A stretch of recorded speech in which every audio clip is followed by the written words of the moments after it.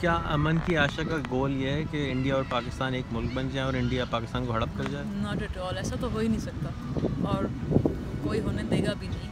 And that is not at all the idea لیکن اگر ایک یورپین فیڈریشن یورپین یونین ہو سکتا ہے تو ایک ساؤتھ ایشین فیڈریشن کیوں نہیں ہو سکتا؟ سارک ہے۔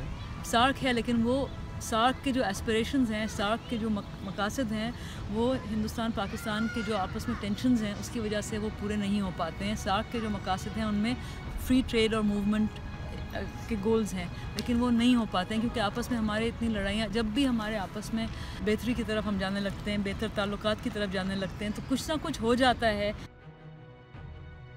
جس کی وجہ سے یا اس طرف سے یا اس طرف سے کہتے ہیں کہ جی یہ تو بات بات چیت بند۔